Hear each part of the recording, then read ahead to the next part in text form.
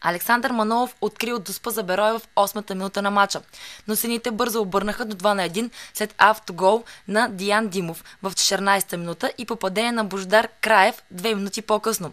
Пламен Димов се разписа за 3 на 1 в 64-та минута.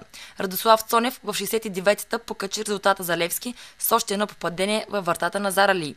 В 80-та минута Мартин Сандов успя да оформи крайния резултат 5 на 1. Следващия матч на Беройци ще бъде срещу отбора на Славия.